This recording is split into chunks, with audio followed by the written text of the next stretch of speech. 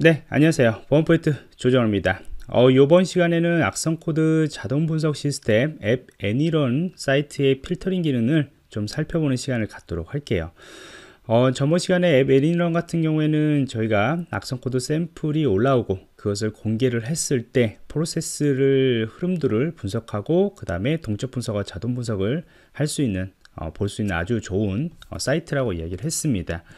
어, 여기에서 이제 public submission 쪽으로 들어가시면은 여러분들이 공개된 그 정보들을 열람을 할 수가 있는데 현재 많은 정보들이 있어요. 지금 현재 약 한 15,363개 정도의 이런 샘플 분석됐던 사례가 있습니다. 물론 이제 모든 것이 다 악성 코드는 아니고요. 정상적인 코드들도 섞여 있습니다. 자, 그런데 여기에서 이제 여러분들이 원하는 것을 좀 이렇게 골라내고 싶을 때는 여기 오른쪽에 보시면 이제 필터링 기능이라고 있습니다. 이 필터링 기능을 사용하시면은 그나마 여러분들이 이제 원하는 어, 운영 체제들에서 돌아가는 형태들이나 특정한 파일 형태들을 찾아낼 수가 있습니다.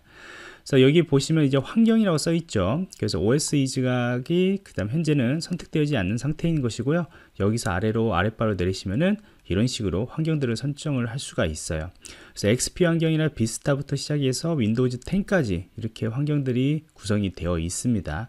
현재는 앱 매니저 쪽에서도 는 이제 현재 윈도우에서만 환경들이 이제 구성이 그 동적 분석이 되기 때문에 이렇게 구분이 되어 있어요. 그래서 Windows 7 환경을 하고 그 다음에 아래쪽에 보면 search라고 있죠. 요거를 버튼을 클릭하시면은 Windows 7 환경에 대해서만 이렇게 나오는 것을 예, 볼 수가 있습니다. 그리고 이 안에 보면 이제 아이콘들이 조금 조금 있죠. 그래서 이 아이콘들을 이렇게 위쪽에다가 이렇게 선택을 하시면은 이제 그 어떤 형태들 그러니까 악성 코드 같은 경우도 유형들이 있을 거란 말이죠. Trojan인지 RAT remote remote access 형태이든지 아니면은 매크로 형식이든지 keylogger 형식인지 이런 형태들을 정하는 것들이 이렇게 아이콘들이 또 설정이 되어 있어요. 그래서 여러분들이 이 아이콘들을 보시고 이제 어떤 악성 코드 형태인가를 또 판단할 수 있는 것이고요. 그 다음에 이제 필터링 기능에서 또 다른 것을 한번 보시면은 naming을 지정을 할 수가 있습니다. naming은 이제 여기에 작성되는 naming들이겠죠. 요 작성되는 이제 그 우리가 올리는 그 naming이기 때문에 저희들이 이제 뭐 PowerShell, 뭐 PowerShell 같은 경우는 전 되게 강조를 하는데요. PowerShell을 설치를 하시면은 이렇게 PowerShell이라고 붙어 있는 어떤 문서 들이나 아니면 URL 주소나 예, 그런 것들이 검색되는 것을 볼 수가 있습니다. 근데 여기서 이제 URL 주소 같은 경우에는 좀 뭐라고 하냐 그 악성 코드 형태 파일 형태들이 아니죠. 그렇기 때문에 요 필터링에서 여기 보시면은 어, 그 타입 형태가 있어요. 그래서 run type 형태 같은 경우를 여러분들이 URL이나 파일 형태로 지정을 해줄 수 있어요. 그래서 파일로 내가 PowerShell이란 것을 선택을 하겠다라고 선택을 하고 그 다음에 서치를 누르시면은 이제 파일 형태들만 여러분들이 볼 수가 있습니다. 그러면은 뭐 DOC 파일, 파워, 파워쉘이라고 하지만은 이거는 이제 PowerShell이라는 이름으로 되어 있는 형태이고 많은 사람들이 지금 현재 파워쉘의 정상적인 코드들이 뭔지 몰라서 지금 올리신 분들도 많이 있죠. 네, 많이 있어요. 그래서 이런 식으로 여러분들이 어, 확인을 해주시면 됩니다. 또 다른 필터링 기능을 한번 좀 보도록 할까요? 저희가 이제 URL 주소나 파워쉘을 이용했었고 여기다가 예, 제거를 하고요. 자, 그 다음에 아래쪽에 보시면은 이제 이 확장명을 설정하는 부분들이 있어요. 저는 이거 되게 좋아하는 건데 이 확장명 같은 경우는 저희들이 악성 코드 분석 EXE 파일 형태는 아니죠. EXE 파일이나 DLL 형태의 그런 PE 포맷 형식만 있는 것이 아니고 이 PDF 파일, 특히 지금은 문서형 악성 코드 형태의 PDF 파일 같은 거는 마이크로소프트, DOC 이렇게 뭐 엑셀 요 파일이 대표적인 거죠. 그래서 이런 형태들을 여러분들 골라낼 때 사용할 수가 있고요.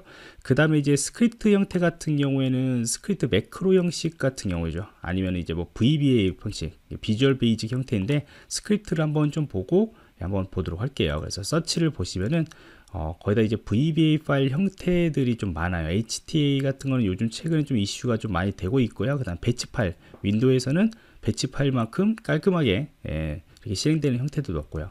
그 다음에 이제 JS 파일 같은 경우죠. 요 같은 경우는 보통 그 스팸메일이나 그런 것들 우회하기 위한 그 스팸메일이야 그 메일 스팸 메일 시스템이죠. 예, 그런 것들을 우회하기 위한 목적으로 이전에 랜섬웨어 배포를 할 때 이렇게 JS 파일 형태로 많이 예, 배포를 했습니다. 그리고 이제 뭐 VBA 형태들 이거는 매크로 그렇죠? 그래서 Visual Basic 매크로 형태들도 이렇게 VBS 파일이나 그런 것들이 많이 올라와지는 것을 예, 볼 수가 있고요. 그 다음에 이제 나머지들 같은 경우에는 어, 나머지들 같은 경우에는 저희가 이제 그 취약 그 악성 코드인지 아, 의심되는 건지 의심되는 수준인지 아니면은 어, 디텍션 되지 않은지 정상 파일인지 이런 것들도 선택할 수가 있고요.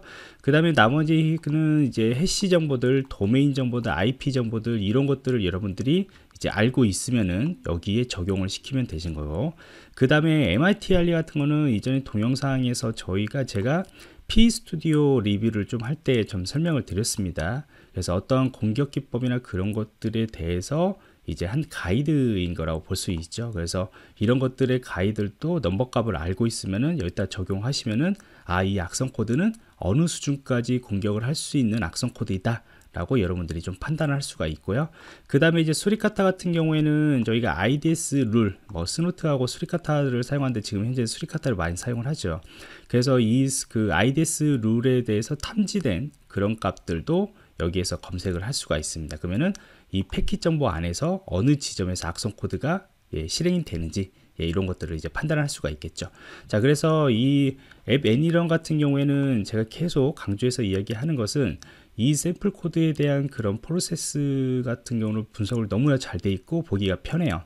그렇기 때문에 여러분들이 모이킹을 하시던 침해 사고 분석을 하시던 그런 패턴 분석을 할 때 여러분들이 유용하게 활용할 수 있는 그런 사이트입니다.